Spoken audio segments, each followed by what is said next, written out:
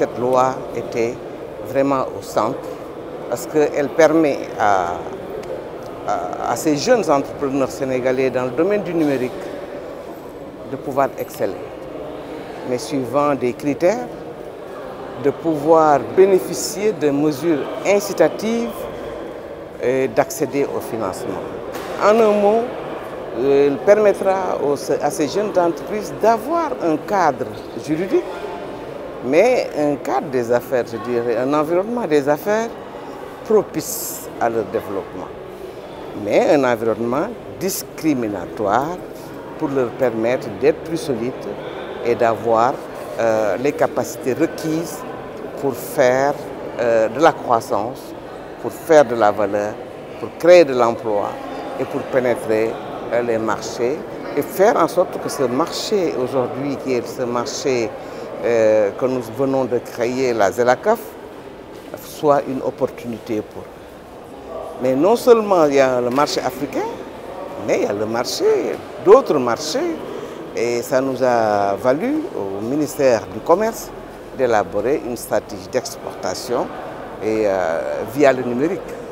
Euh, vous voyez un peu que ça va. Et c'est normal que ces facilitations soient faites parce que nous voulons transformer notre économie. Au-delà de la création de valeur, euh, au-delà de la création de croissance il nous faut aussi une entreprise, une administration connectée, moderne, avec des solutions en réduisant, qui nous permettront de réduire la facture euh, de l'État, la facture des usagers, d'autres des, des, Sénégalais, mais aussi la fracture numérique. Et que la fracture, c'est d'éviter ou de régler tous les problèmes liés à l'équité territoriale en matière d'accès. Euh, ces startups sont porteurs de solutions. On ne les voit pas, ils sont à l'ombre, les, promoteurs de start-up sont à l'ombre. Euh, en tout cas derrière des bureaux ou dans des, euh, dans des, des, endroits, il suffit tout simplement de faire en sorte que le potentiel qui existe à leur nuit puisse éclore. Et le président de la République, son Excellence M. Macky Sall, a vu cela depuis longtemps, a mis en place pour le moment, pour, à travers l'ADER, un programme de renforcement de leurs capacités financières.